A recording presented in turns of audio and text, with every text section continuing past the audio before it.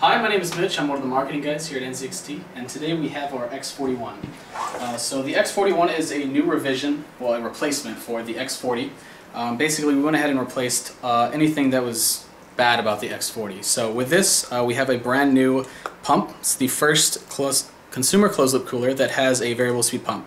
It's going to let you have uh, high-end performance without the unnecessary pump noise. We went ahead and revised the radiator. Uh, I think it's 26% thicker than the X40. Um, so you're going to get 26% more volume in addition to the 36% more surface area over a 14 or a 120 millimeter. Uh, we went ahead and replaced the FX fans with our FX V2. Uh, this is a completely new manufacturer, so we have uh, you know it's quieter, it's it's faster, um, it's really a best of both worlds scenario.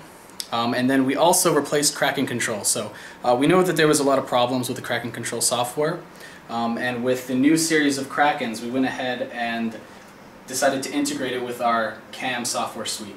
Um, so you're going to be able to control the hue, fan, uh, fan curves, all that stuff through um, your CAM uh, software. On the 280 side, we have the same pump, uh, the same revised fans, um, and then our battle-tested 280 millimeter radiator. Uh, it comes with the same software control with CAM, um, and then in addition to you know the the traditional desktop software, uh, we're going to actually be launching. We're not launching with um, shortly following launch. We're going to have the CAM mobile app for Kraken Plus as well. Uh, so if you look over here, you're going to be able to see. Um, you're going to be able to to control you know the, the the fan speed. You can set a custom fan curve. You see your temps here. You can switch between Fahrenheit and uh, Celsius very easily.